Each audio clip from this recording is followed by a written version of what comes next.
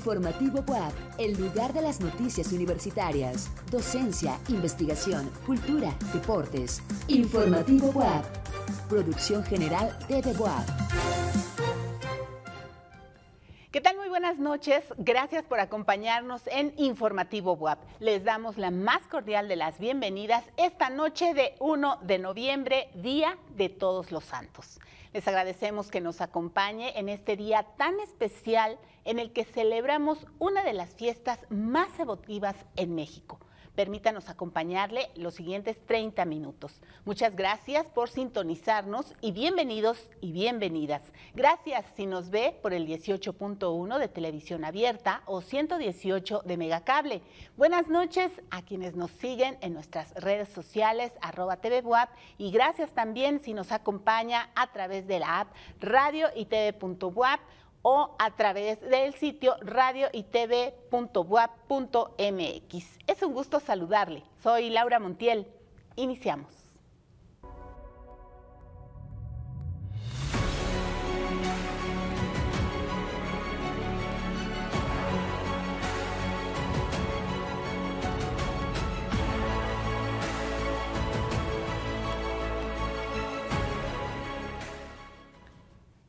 Bienvenidos.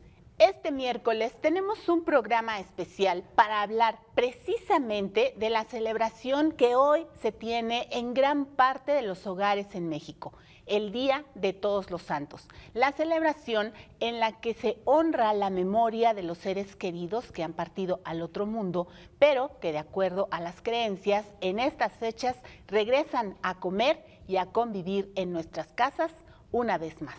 Para hablar de ello, damos la bienvenida esta noche a la doctora Alejandra Gámez Espinosa. Doctora, bienvenida. Gracias por estar con nosotros. Muchas gracias por la invitación. Pero antes de ir de lleno a la plática, me da mucho orgullo presentarles a la doctora Alejandra Gámez Espinosa y hablarles de ella. La doctora es, es antropóloga, es doctora en antropología por la Escuela Nacional de Antropología e Historia. Pertenece al Sistema Nacional de Investigadores Nivel 2.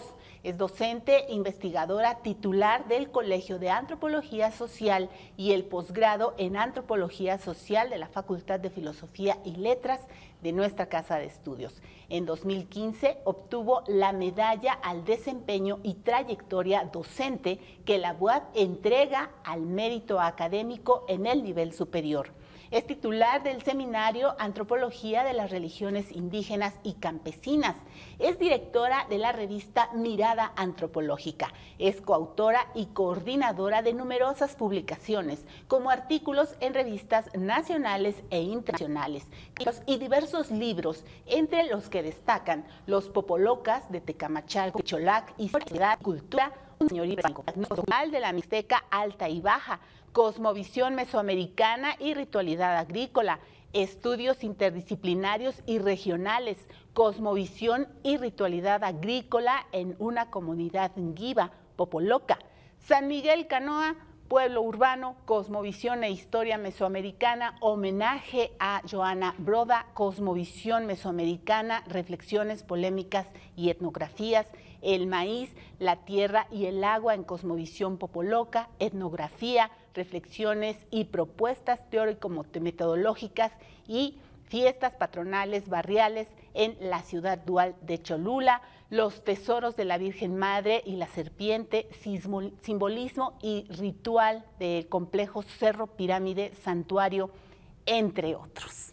Gracias, doctora. Pues nuevamente, de verdad, amplio esta trayectoria que, que, usted tiene y por lo cual de verdad nos llena de gran orgullo tenerla esta noche. Nuevamente, bienvenida en esta noche, pues para hablar de esta pues una, una, celebración muy, muy significativa para, para México. Y de entrada, pues le pregunto, ¿qué es el Día de Muertos y cuál es su significado en la cultura mexicana?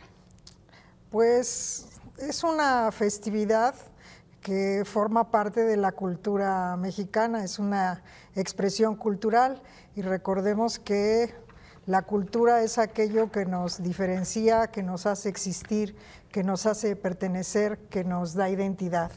Entonces, la fiesta de Día de Muertos resulta ser una de las más significativas y que más, eh, digamos, que, eh, es un referente fundamental de la identidad de nosotros, ¿no? de los mexicanos. Sí, es cierto. Bueno, pero para hablar también de ello, valdría la pena eh, iniciar sabiendo, pues, cuáles son las raíces históricas y culturales de esta tradición en México. Bueno, eh, eh, en, la, en esta festividad de Día de Muertos se conjugan dos tradiciones culturales. Una es la tradición cultural indígena, este, prehispánica, y por el otro lado, pues la tradición cultural este, europea centrada sobre todo en la religión católica. Eh, las culturas eh, indígenas mesoamericanas eh, festejaban, eh, digamos, tenían un calendario, este, dos tipos de calendario, uno de 260 días, que se le conoce como el lunar, y el otro de 200, 365 días, que estaba constituido por 18 meses de 20 días. Este, en este calendario, cada mes implicaba una festividad.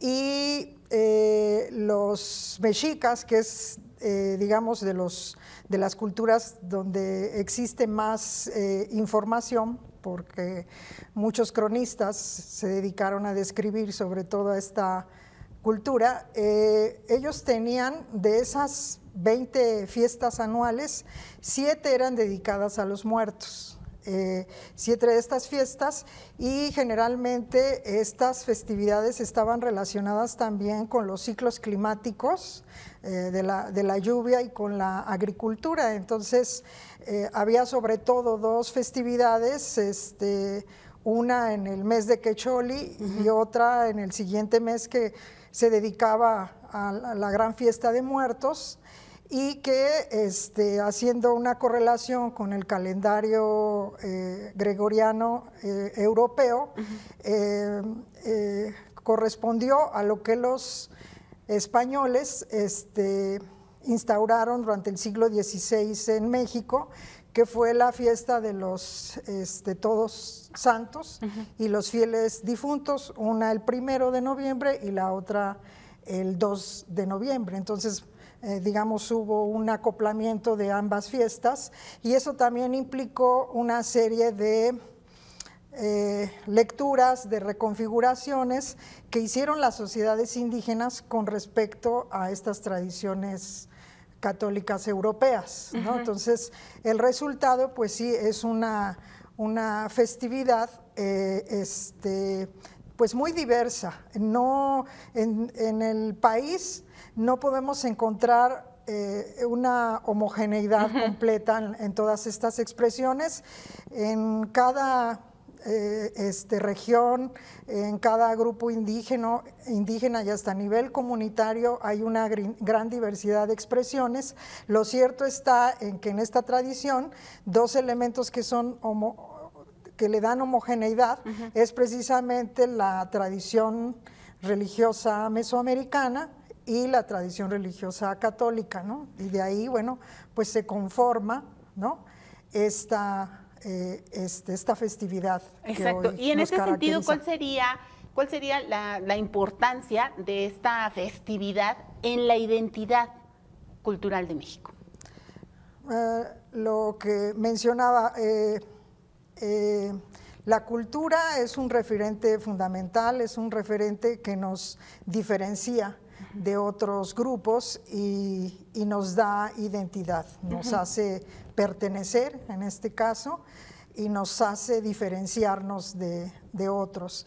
Y eh, evidentemente que las fiestas eh, este, de Todos Santos o los fieles difuntos en Europa no tiene que ver mucho con lo que nosotros festejamos, precisamente por la, este, por el gran, eh, la gran raíz que tiene de la cultura indígena. ¿no? De hecho, es en las culturas indígenas donde se observa claramente la, la riqueza ¿no? de esta festividad.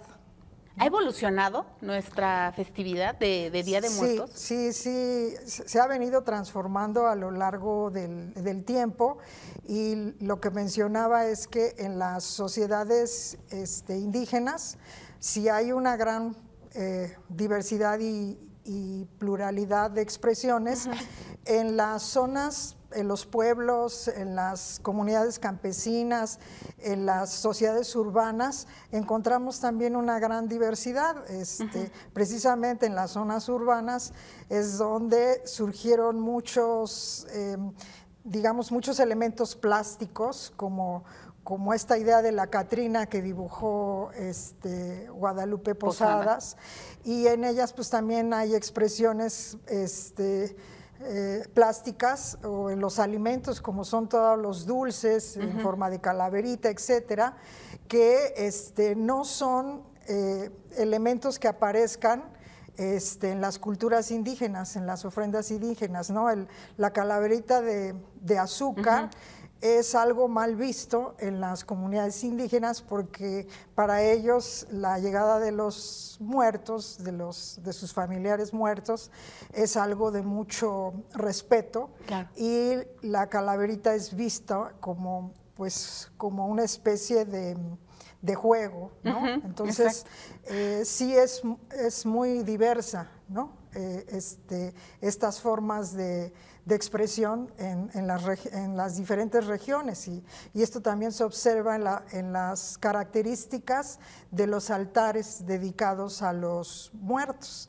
Eh, uno puede ver eh, claras diferencias eh, en zonas como la Sierra norte de Puebla, en donde, bueno, hay una serie de arcos este, con las flores, ¿no? Y, este, y la composición de las ofrendas en términos del tipo de alimentos, eh, de objetos, es distinta, por ejemplo, a las comunidades singuiguas, este, del sur de Puebla, donde no existen esos arcos y a, donde utilizan más bien una serie de tenates este, o canastitas este, nuevas dedicadas especialmente a los muertos, en las que se coloca la ofrenda o el alimento para cada uno de los, de los eh, familiares muertos. Si son 15, son 15 tenates o 15 canastas. Entonces, sí, en la composición misma de las ofrendas, pero también en la cosmovisión hay diferencias. en cada región, en cada grupo étnico. Se han estado, digamos, eh, adaptando las celebraciones del día, de días de muertos entonces en diferentes regiones en, México o se está haciendo el esfuerzo por preservar eh, el origen de esta tradición? Hay este, instancias en México como este, pueden ser eh, Conaculta o el, INPI, este, o sea, el Instituto Nacional para los Pueblos Indígenas, etcétera, que tienen una serie de programas con la idea fundamentalmente de promover pues eh, la reproducción cultural de las sociedades indígenas, el respeto a sus, a sus derechos este, culturales, este, etcétera. Pero lo cierto está en que en las zonas urbanas, este, eh, eh, digamos, hay otras, ¿no? Este, digamos, lecturas y, entrada también de, tradiciones, ¿no? Como, pueden ser las eh, del Halloween este, norteamericano, ¿no? que por la misma presencia de los medios masivos de comunicación como la televisión, este, el, propio comercio, ¿no? este, las grandes tiendas de autoservicio, etcétera, pues impulsan, impulsan mucho también la, entrada de muchas de estas este, prácticas ¿no? Este, provenientes de otros Efectivamente, y de hecho, preguntarle, ¿ha afectado eh, nuestro vecino del norte o el turismo en la forma de celebración del Día de Muertos en México? Sí, sí, sí está, digamos, teniendo mucha este, mm, repercusión, mucha injerencia, pero este, eh, a final de cuentas, eh, este, cada grupo, cada comunidad, cada sociedad selecciona aquello que, decide incorporar y aquello que decide este, mantener y reproducir. En muchas comunidades indígenas se llegan ver, a ver algunos elementos alusivos, este, digamos, plásticos este, al Halloween, pero se mantienen en general eh, este, las cosmovisiones y los rituales ¿no? este, característicos de, cada comunidad. Doctora, en las comunidades, em, digamos al interior del país, ¿se tiene también esta idea de que nos burlamos de la muerte? Sí, eh, este, precisamente en las, en las zonas urbanas, este, eh, es, es, muy común eh, esta idea eh, de que, bueno, para, para el mexicano, sí, este, hay una visión un tanto... Este, si es que conviven con la muerte, es que se burlan, conviven, la hacen suya, disfrutan y la celebran. Esa es la idea general. Este, no, no necesariamente, por eso decía que hay como mucha diversidad, porque las sociedades indígenas, eh, este, fundamentalmente hay mucho, mucho respeto a los ancestros, a, los muertos, porque en la cosmovisión de ellos, los muertos, eh, digamos, no son ajenos a la vida de las comunidades eh, son parte de la colectividad y ellos piensan o creen que los muertos eh, siguen ayudando a los vivos, trabajan, de hecho dicen los muertos trabajan, los muertos ayudan a las comunidades, en, eh, este, son como una especie de intermediarios entre los vivos y, los, y las deidades, los santos, este, para traer agua, para las plantas, eh, traer fertilidad, este, llevarse el granizo, o sea, están trabajando en beneficio de los vivos. Y fundamentalmente, este, por eso también se dice que la fiesta de Día de Muertos es una fiesta de cosecha, es una fiesta donde se cierra el temporal este, y eh, este, concluye el periodo agrícola. Entonces, bueno, en estas comunidades eh, se alimenta a los, a los muertos. Eh, precisamente porque ellos trabajan y requieren alimentarse, solo que como ya no tienen cuerpo, son almitas, pues solo se alimentan de los aromas de, las, eh, de los alimentos. De los alimentos que vienen, en la, que vienen en la ofrenda. Doctora, ¿cuáles serían entonces los desafíos actuales que enfrenta precisamente la preservación y promoción de esta tradición en México? Eh, pues tiene que ver sobre todo con eh, em, lo, que mencionaba, eh, sobre todo legislar en términos de este, insistir en, los derechos culturales de estas sociedades, de las sociedades este, indígenas, de las sociedades campesinas, de sus derechos eh, este, culturales y el respeto a los, a los mismos. En la medida que esto eh, se dé, bueno, se está garantizando precisamente este, eh, digamos, la reproducción cultural de estas sociedades.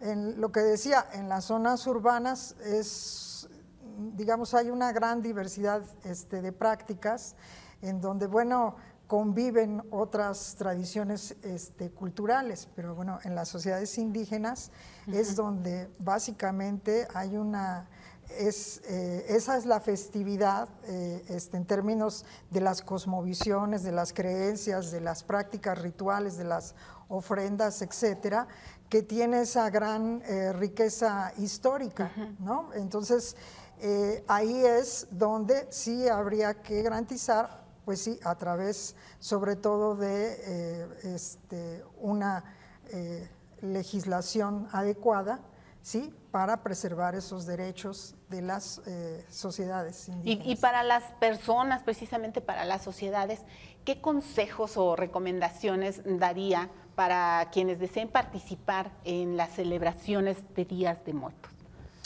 Bueno, eh, sobre todo eh, respetar, porque evidentemente sí se, estos, estas fechas eh, hay ciertas regiones que por las características de la, de la festividad llega mucho turismo ¿no? este, a, las localidades. Y evidentemente la gran cantidad de personas de, este movimiento en ocasiones no permite que las celebraciones se lleven a cabo este, como lo dictan ¿no? las, las tradiciones comunitarias, etcétera. Entonces, bueno, en ese sentido sí hacer un llamado a todos aquellos que asistimos a estos lugares a eh, mantener este, el respeto hacia este, las prácticas culturales de, este, de las diferentes regiones que visiten en, este, en este momento. Y también, pues, ¿cuáles eh, serían las fechas para quienes nos están viendo, para quienes nos van a, visitar precisamente? ¿Cuáles serían las fechas y las principales actividades que se llevan a cabo precisamente en torno a esta celebración de Día de Muertos? Bueno, eh, eh, lo que mencionaba es que hay una gran diversidad. Eh, hay, hay lugares, eh, por ejemplo, en los, entre los nahuas de Guerrero, que las festividades inician desde finales de septiembre. Este, en la, el día de San Miguel, el, el, 29 de septiembre, ya se empiezan a colocar ofrendas para los muertos. Entonces, difiere mucho de las regiones. Eh, normalmente eh, se consideran los últimos días de eh, octubre, del el 28 que se plantea está dedicado a las personas que, murieron por este, un accidente. El 29 de octubre que en algunas regiones se recuerda a las personas que murieron ahogadas. El 30 eh, de octubre eh, fundamentalmente se recuerda y se colocan ofrendas para los niños que nacieron durante el parto o cuando este, o que murieron sin ser bautizados. El 31 de octubre es para los niños este, que murieron ya eh, este, siendo bautizados el primero de noviembre, que es dedicado a los niños en general, y el 2 de mayo, digo, el 2 de, noviembre, que es dedicado pues a los muertos adultos. Pero esto suele variar. Hay comunidades, por ejemplo, en la Sierra Norte, donde todavía hay festejos a gente que murió por este, porque lo mataron con un machete o que murió porque se cayó en una barranca, o hay días dedicados a los sacerdotes muertos, a los obispos muertos, y se llega a extender hasta el 8 o 9 de noviembre. Ah. Hay otras comunidades, este, en las comunidades que yo trabajé entre los inguiguas, o también conocidos como popolocas, al sur de Puebla, en la zona de Tehuacán, donde el 20 de octubre este, se le conoce como el Día de San Isidro y se este, recuerda a los muertos este, ahogados, pero también a los animalitos y se les mm, pone en ofrenda a, los, a los animales de casa que ya murieron, sobre todo a los, a los perros, ¿no? se les crea, se les hacen unas memelas especiales. Entonces, en cada lugar, lo que decía, este, suele, suelen cambiar un poco las fechas, eh, las secuencias rituales y este, la forma de colocar las ofrendas. Precisamente esto de, los animales y sobre todo los perros tienen un especial significado en esta tradición de Día de Muertos. Claro, sí, porque en la visión prehispánica, eh, em, cuando alguien eh, moría, este, se planteaba que eh, todo ser humano moría, eh, digamos, con una deuda hacia la tierra, ¿no? La tierra que nos alimenta, la tierra que nos da habitación, la tierra que nos eh, permite reproducirnos. Sí. Entonces se planteaba que uno adquiere, y en las comunidades indígenas todas se plantea esa deuda con la tierra. Hay lugares en los que a los difuntos se les entierra con cierto número de monedas o de este, semillas de, de, chocolate o de maíz como pago a la tierra. Entonces se, se pensaba que este, como parte de ese pago, el camino hacia el Mitlan, hacia este lugar de los muertos, este, era bastante peligroso y se pasaba por muchos lugares, entre ellos un lugar donde había un frío tan fuerte que eh, pegaba, dicen, como navajas de obsidiana, ¿no? Hasta que llegaban a un río en donde fundamentalmente el que ayudaba atrás a, pasar el río a las personas, pues era un perro. Entonces en algunos lugares se llegaba a enterrar al muerto con un, con un perro. Con un perro, exactamente. Y en este sentido, ¿cuál es el papel de los altares de muertos en la celebración precisamente esta que estamos viviendo? Bueno, eh,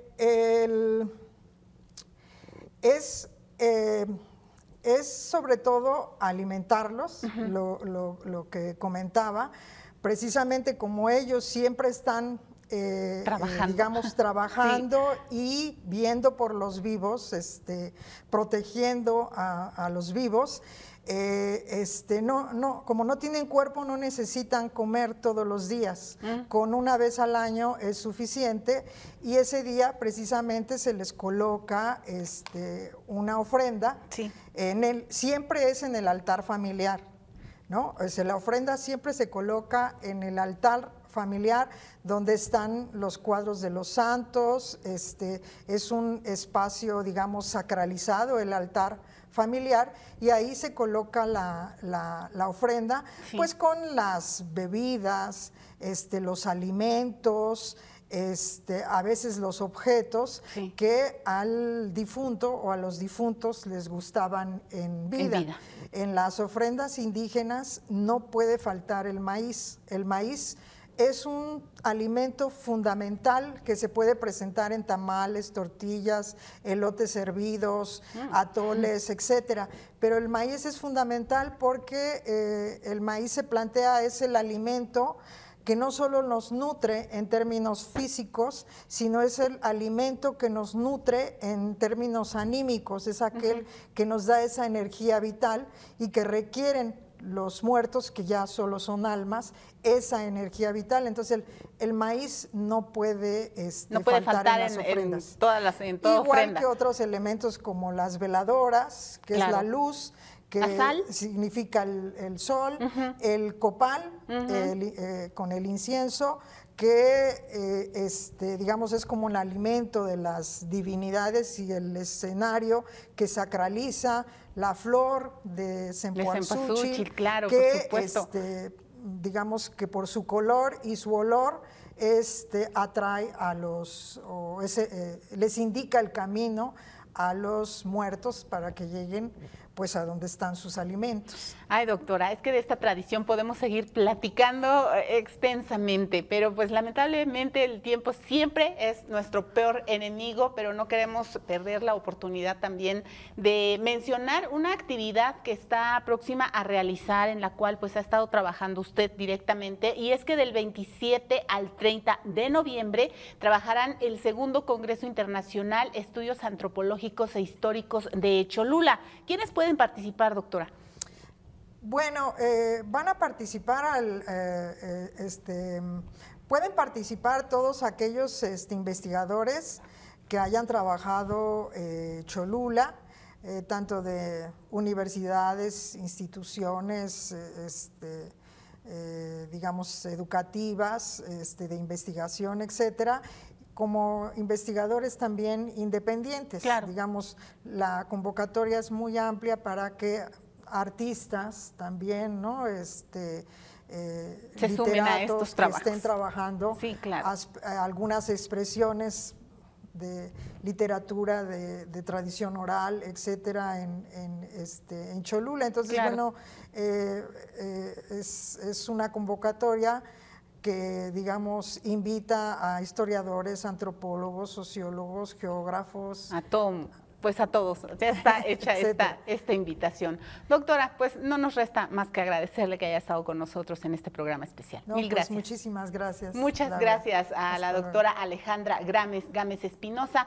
profesora investigadora del Colegio de Antropología Social de la Facultad de Filosofía y Letras de la Benemérita Universidad Autónoma de Puebla. Muchas gracias por acompañarnos en este programa especial de Todos los Santos. De esta manera llegamos al final de Informativo WAP. Gracias a usted si nos siguió en el 18.1 de televisión abierta y 118 de Megacable. En nuestras redes, arroba TV y en el sitio radio o en nuestra app Radio y TV TV Gracias, soy Laura Montiel. Disfrute la noche.